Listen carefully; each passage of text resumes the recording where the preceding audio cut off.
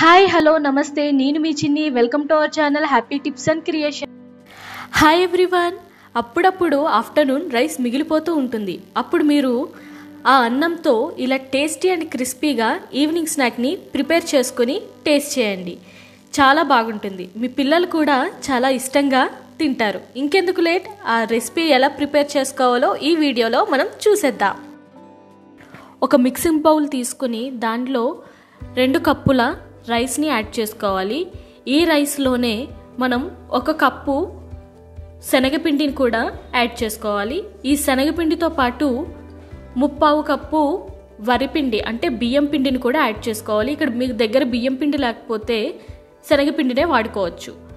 ఒక స్పూన్ అల్లం వెల్లుల్లి పేస్ట్ అలాగే ఒక కప్పు ఉల్లిపాయ ముక్కలు అండ్ రెండు టేబుల్ స్పూన్ల పచ్చిమిర్చి వేసుకోవాలి. అలాగే కొంచెం కొత్తిమీర. ఒక హాఫ్ టీ స్పూన్ కారం రుచికి సరిపడా సాల్ట్ హాఫ్ టీ స్పూన్ ధనియాల పొడి పావు teaspoon garam masala powder అలాగే మూడు టేబుల్ స్పూన్ల ఆయిల్ని అంటే రిఫైండ్ ఆయిల్ మీ దగ్గర ఏ ఆయిల్ అవైలబిలిటీ ఉంటే ఆయిల్ని మూడు టేబుల్ స్పూన్లు యాడ్ చేసుకుని మొత్తం అన్నీ కలిసేలాగా బాగా మిక్స్ చేసుకోవాలి.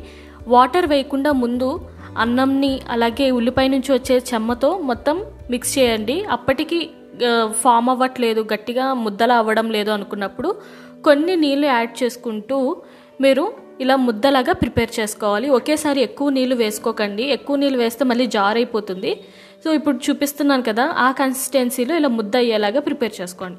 ఇప్పుడు చేతులకి కొంచెం ఆయిల్ రాసుకుని కొంచెం కొంచెంగా చిన్న చిన్న ముద్దలు తీసుకుని మనం ఏ షేప్ కావాలంటే ఆ షేప్లో మనం వీటిని రోల్ చేసుకోవచ్చు. ఇలా సిలిండ్రిక్ షేప్లో రోల్ చేయాలని అయితే ఏమీ లేదు. నేను పిల్లలు కొంచెం అట్రాక్టివ్గా ఉంటుంది. పిల్లలు ఇష్టంగా తింటారు అనే ఒపీనియన్తో ఇలా ఈ సిలిండ్రిక్ షేప్లో నేను ఫామ్ చేసుకుంటున్నాను. ఇలా మీకు ఎన్ని కావాలనుకుంటే అన్ని ఫామ్ చేసుకోవచ్చు. ఇలా షేప్స్ ఏమి ఫామ్ చేయకపోతే మీరు పకోడీలు వేసుకున్నట్టు కూడా మీరు వేసుకోవచ్చు ఈజీగా. ఇలా నేను అన్నీ ఇలా ఫామ్ చేసుకుంటూ వస్తున్నాను. ఎక్కువ లావు కాకుండా అలా అని మరీ సన్నం కాకుండా ఇలాగా ఇలా మీడియంగా రెడీ చేసుకోండి. ఇలా రెడీ చేసుకున్న అన్నిటిని తీసి పక్కన పెట్టుకుని ఇప్పుడు ఒక ప్యాన్ స్టవ్ మీద ప్యాన్ పెట్టుకుని దానిలో డీప్ ఫ్రైకి సరిపడా ఆయిల్ని వేసుకుని ఆయిల్ బాగా వేడైన తర్వాత ఒక్కొక్కటి చప్పున ఆయిల్లో వేసుకోవాలి. ఆయిల్లో వేసిన తర్వాత మంటని మీడియం ఫ్లేమ్లో పెట్టి గరిటి పెట్టకుండా ఒక రెండు నిమిషాల పాటు వాటిని అలాగే వదిలేయాలి. రెండు నిమిషాల తర్వాత వాటి అంతటా అవే కొంచెం పైకి తేలుతాయి. అప్పుడు ఒకసారి గరిటె పెట్టి కలిపి మనం తిరగేసుకుంటే సరిపోతుంది. ఈ రోల్స్ మనకి మంచి గోల్డెన్ కలర్ వచ్చేంత వరకు ఫ్రై చేసుకోవాలి. చూసారా? మంచిగా ఇలా గోల్డెన్ కలర్ వచ్చిన తర్వాత టిష్యూ వేసిన ప్లేట్ తీసుకుని దాంట్లో మనం ఫ్రై చేసుకున్న రోల్స్ అన్నిటిని కూడా ఆ ప్లేట్లోకి షిఫ్ట్ చేసుకోవాలి.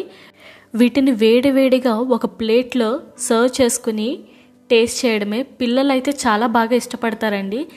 వీటితో పాటు టమాటో కచప్ని కానీ లేకపోతే చిల్లీ సాస్ని కానీ డిప్ చేసుకుని తింటే చాలా అంటే చాలా టేస్టీగా ఉంటుంది. అండ్ ఇవి బయట క్రిస్పీగా లోపల సాఫ్ట్గా చాలా టేస్టీగా ఉంటుంది. ఈ రెసిపీ ట్రై చేసి ఎలా ఉందో కమెంట్ చేయండి. ఈ వీడియో కనుక మీకు నచ్చినట్లయితే లైక్ చేయండి షేర్ చేయండి and please subscribe my channel. Thank you for watching this video.